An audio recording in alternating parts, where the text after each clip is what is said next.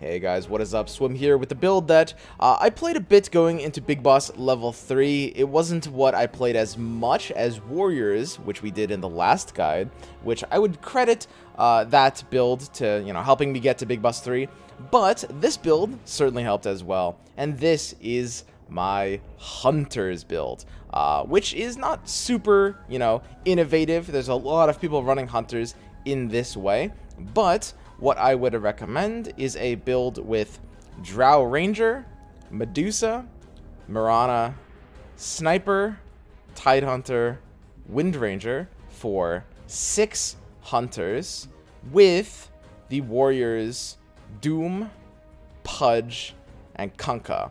Although Doom is a flex slot, something like a level 3 Tiny will often be a replacement for that Doom slot, or even if you have Coordinated Assault, you could even use Troll Warlord to spread the Coordinated Assault attack speed aura to your hunters, like the Drow aura, giving them even more attack speed. Because you can run Coordinated Assault with even just one Troll, and it's totally fine. So you might notice something interesting here if you watched my other two videos, Assassins and Warriors, uh, and there's going to be two more in the series. This is I've turned this into a five-part series, but in the other two videos, I listed 8 units as my composition, and then the ninth unit was like an add-on that was kind of optional if you get to that level. And that's kind of how Underlords ends up being. A lot of people try to design 10 unit compositions, and I'd highly recommend against that, because you often don't really get there, and you need to come online on level on round 21 when you hit level 8 before then. This is a 9 unit composition, and there's a couple reasons for that. So the first of which is you really want the warrior frontline. The drow pairs really well with the pudge because you need to get that heartless online. Um, the Kunkka is just generally really good. Kunkka being a warrior with like a big AoE stun, it's even picking up human, um, which is like, you know, not a, a, useless buff at all, especially with how Hunters wants to play. They're fast and they're bursty, so silences will do well for them if you can pair this with the other warrior, which you sometimes end up doing. Um, but basically, the idea is because hunters are very expensive, Medusa is a tier 4, Mirana is a tier 4, and Tidehunter is a tier 5. They're very rare and very expensive. And even Doom is also a tier 4, which you often want to go for. This is a composition that actually benefits quite a bit from going to level 9 compared to the other two guides I've done, Warriors and Assassins so far. So think about going to level 9 a little bit more aggressively here. Your final board does want these 9 units, these 6 hunters and 3 warriors, and you do very much want the increased probability of finding these rare units by being a high level when ruling. So if you are on hunters and you're having a good like win streak in the mid game and you feel like you can actually push your economy and just greed up to level 9 before you really start rolling down on like rounds 21 to 25 or so, that is a fantastic position to be in and you will probably win the game if you play your cards right. Let's go ahead and go over items before we jump into positioning. You guys know the drill by now. So, uh, you've got your Tier 1 items, as always, Chainmail is just the best, but Blightstone and Gloves are tied as close seconds, and these are going to be important to pick up with Hunters, um, because, of course, you know, you are a heavy DPS build, and you actually need to have designated tank units, usually Pudge and Kunkka, and your, you know, your third flexible warrior, and you want designated offense units. Something like Gloves of Haste is going to do very well on a DPS unit, of which, you know, Medusa is your best option. Uh, if this happens to be the best DPS uh, item you have at that point in the game, it's still better than nothing. Of course, Embarrassment is still better than all of those, but, you know, hey, what else is new? Okay, so next up, Tier 2. So Fall from Grace is going to do very well. This is just straight up one of the best items in general. You pick this, and you turn your third warrior, your fourth uh, flexible unit, into a human. In this case, probably Lycan instead of Doom, so that you can have the second Heartless pair, and you can go up to four Heartless, which is very, very powerful. As always, Smuggler is also insane. Unstoppable is surprisingly decent here. Even though you only run three warriors, it does get a bit of work done.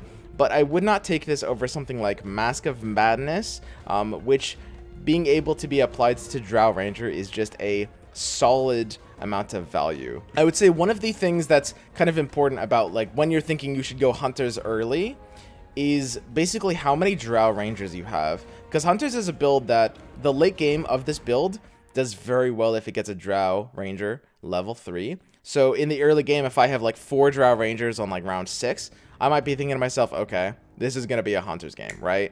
Or if I have like 5 by round 11 or so, I feel pretty locked in. Even sometimes if I have like no other hunters, because you don't really want to be playing hunters in the early game. What I would recommend is supplementing your early game with like the warriors. Um, you don't really want to be collecting stuff like sniper or Windranger early.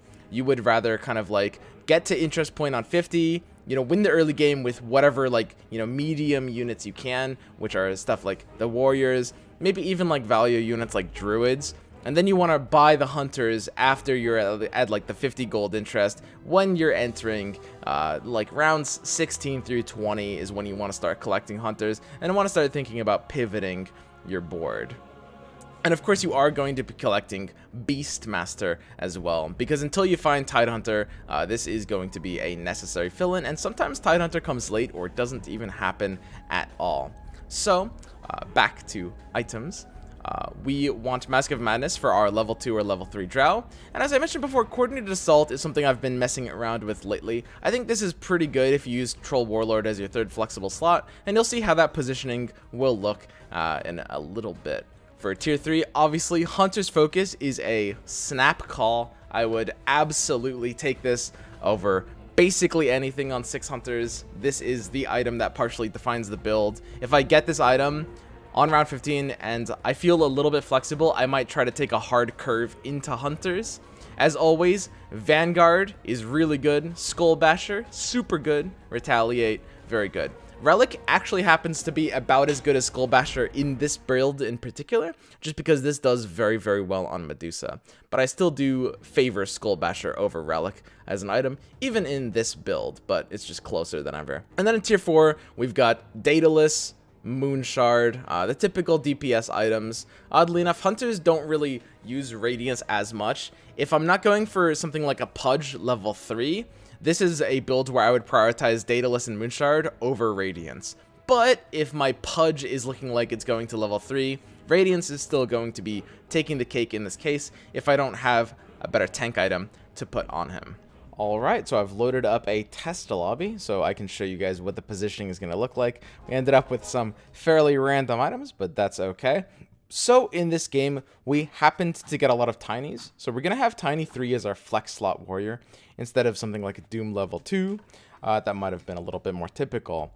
Often you want your drow to be, you know, in the middle, spreading the aura to everything else, but it's important that if you have Beastmaster or Tidehunter in that slot, you will have one melee hunter right? Which means that if you uh, want it to be able to attack things, it needs to be on the outside, of course, right?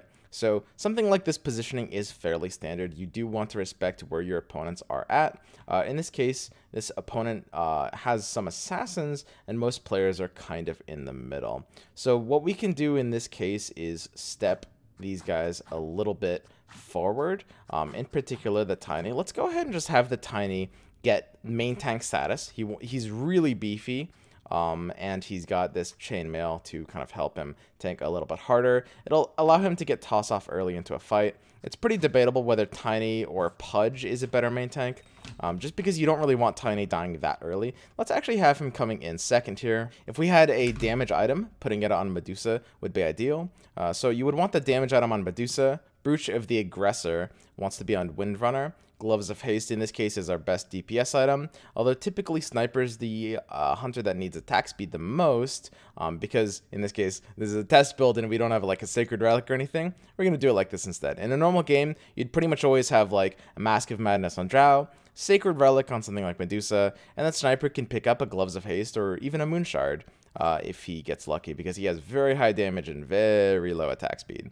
So uh, at this point, we can just put Blightstone on someone in back sniper. He usually lives very long in this case. And Octarine Essence on Kunkka is never bad because his boat goes down from 10 seconds to 5 on the cooldown, which is very powerful. Lastly, we can just go ahead and put Blade Mail on Tiny. I think in this case, I'd rather have Blade Mail be on my side tank than on my main tank. Main tank really does want like a Chainmail or a Vanguard just to stay alive longer. And that's it. Let's go ahead and see how this positioning works out. So everything will go onto this pudge over here. All of my hunters are gathered around the Drow level 3, picking up her 30% DPS aura in back, which is really good. Um, and as you can see, we're just kind of like melting people. Um, people are starting to kind of split later on into a fight, and we are pretty much good here. Now, depending on the situation, you might want to be cross-cornered against the opponent at any given time. Uh, it can be important to flip your board to the side. If you're against something like mages, for example, usually you want to be diagonally across from them. Something like knights, dragons, you want to be diagonally across from them. Uh, typically, you do not want to be directly, like vertically across from most compositions. Although in the hunter mirror, if you have the stronger board, being vertically across from them is going to do more than being diagonally across from them.